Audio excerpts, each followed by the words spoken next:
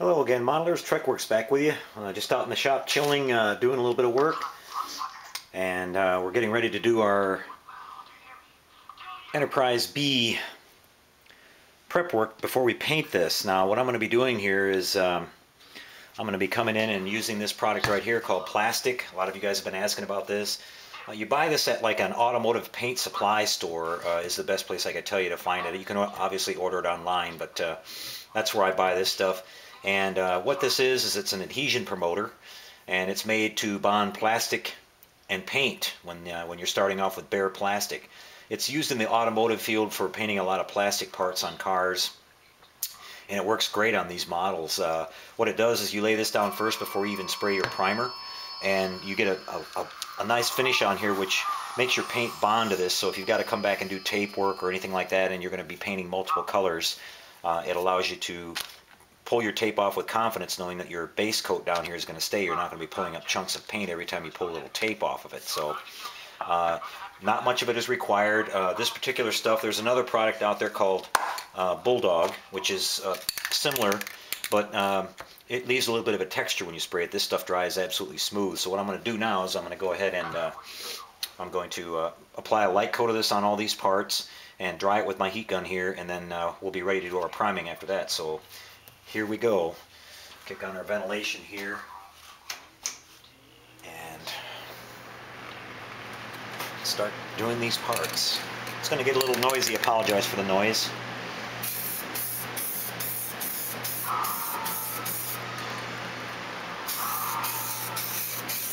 It's just has just a slight amount of coloring to it, so you can tell that you're covering your area with it. Go ahead and dry these. This stuff dries really, really fast, and it just requires a really nice, even, light coat.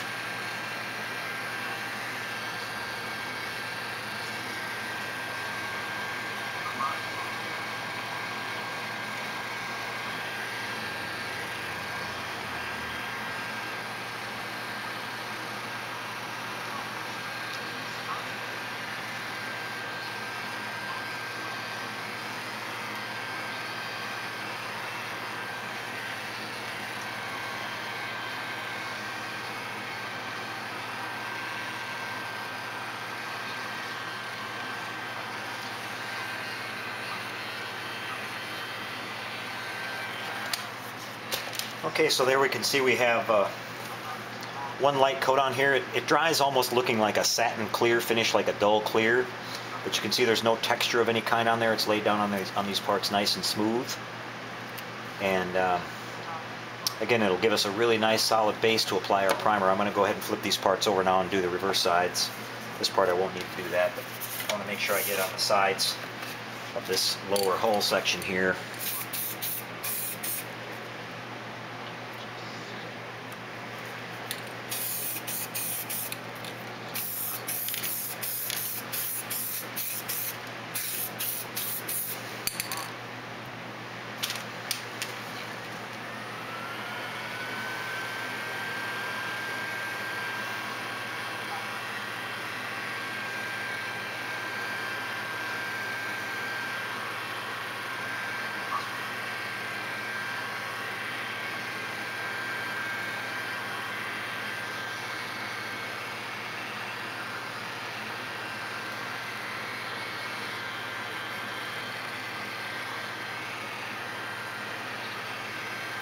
The heat gun setting, if you can see this here, is at it's at 200, but it's actually a little less than that. It's right around 190, something like that.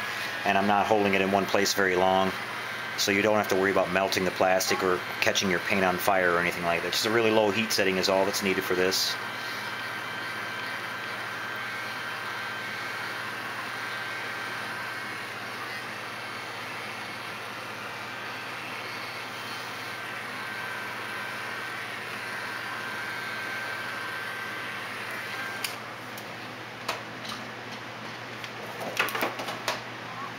Okay, so that's already dry. Uh, as you can see, it doesn't, it's not tacky or sticky or anything. Uh, it's nice and uniform on these parts. So we're ready now to move on to the primer stage. We'll do that now. And start off just by uh, doing the top of the saucer first.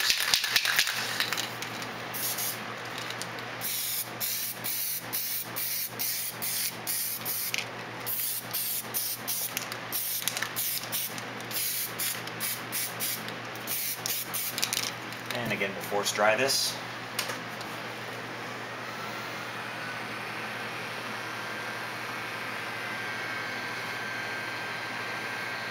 This forced drying, I really, really like to do it because it, uh, I've explained this several times, but uh, the faster you dry this paint, the less chance you have of any debris sticking to it.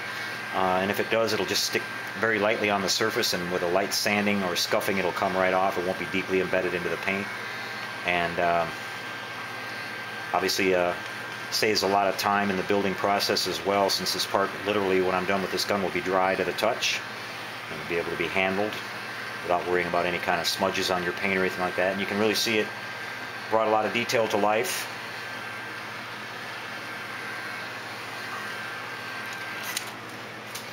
Okay, flip this part over. Back side.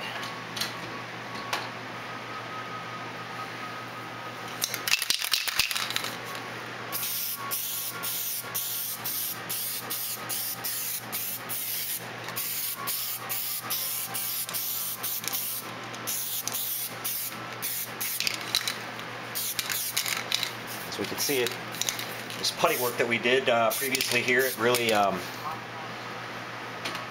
helped to uh, cover up our a lot of our seams and imperfections that were on the model.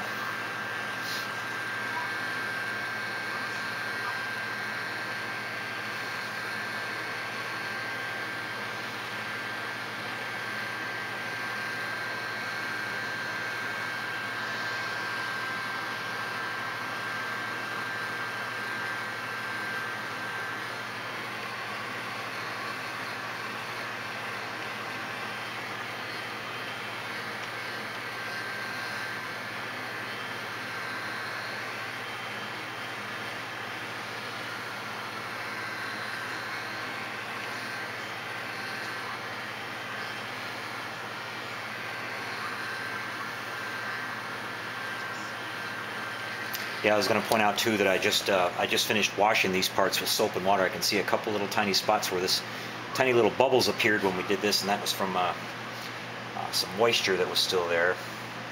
That's not. We'll just level these out here. Just run your finger over, and again, this is already pretty much dry to the touch. It's not tacky at all. I'm going to turn it around and make sure I get the edges of it real well.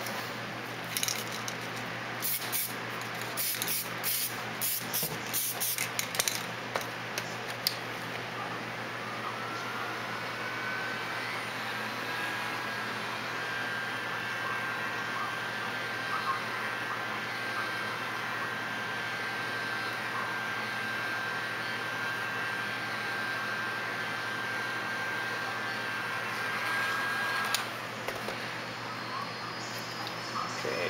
got a little bit here in the back we need to cover still.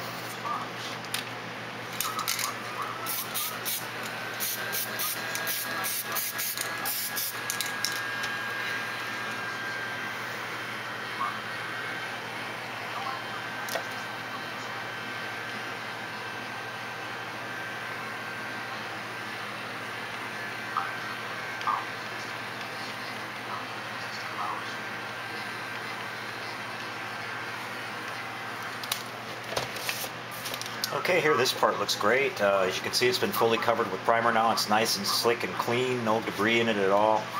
Really nice and clean. It's just uh, ready to go. For uh, what we'll be doing next with this is we'll sand this down with 600 grit sandpaper, and then I'll apply my first coat of base color, which will be an off-white, and then I'll sand that all out with 600, apply one more base coat of white, and then I'll start coming back and doing all my tape work here, doing all my paint detail with the airbrush.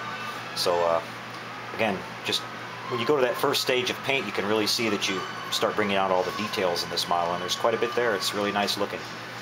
Let's go ahead and get this lower saucer section, or secondary hull section covered up.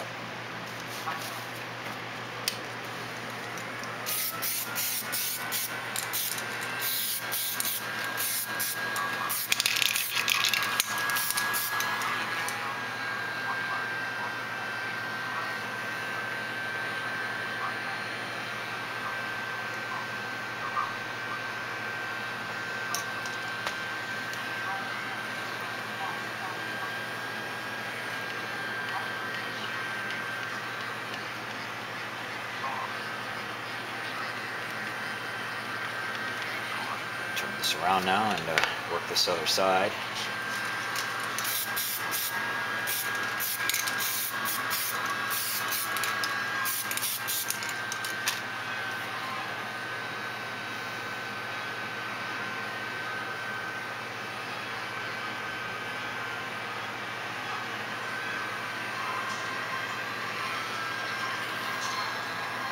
Looks like our seams here, all these assembly joints filled in really nice for us. Uh, they're very, barely noticeable.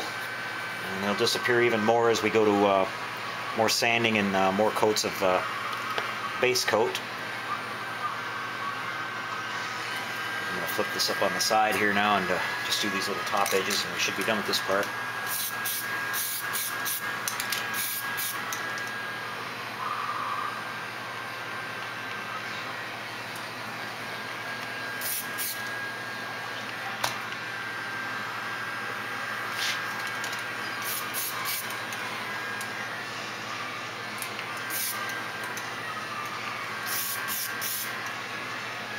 Again, real thin coats are all that's required there. No, I'm getting a little bit of a,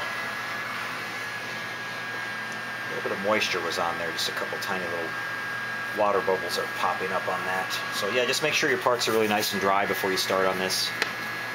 I got in just a little bit too much of a hurry on this. This is uh, there's just kind of a little bit of rough texture going on right there. That'll sand right out with some 600. This is uh, this particular primer is um, called a high build primer, so it's made to be sanded. Quite a bit of sanding, it'll instantly turn to powder when you. If, if you have a primer that you're sanding on and you don't get a lot of powder off of it, it's not very. A, it's not really a good high quality uh, primer if you're not seeing a lot of powder when you sand. Uh, I, I noticed that there's some types of primer out there that when they dry, they're kind of almost semi-glossy looking and they don't sand out very well. You tend to kind of chunk on the edges of it when you sand. They don't feather edge really well. So this is a good quality, uh, made by Transtar.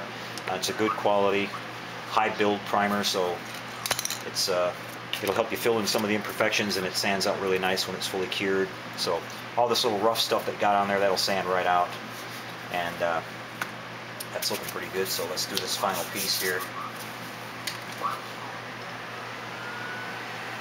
But you'll have a bond on here with this plastic uh, adhesion promoter that will really make it a nice stable platform to work with when you do the rest of your painting, especially all that detail painting out.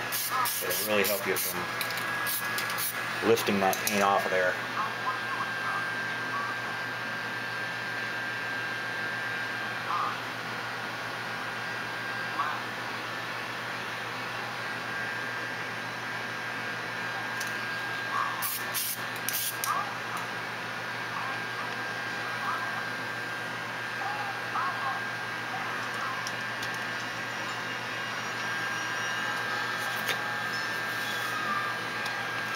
Just make sure we get this last edge here.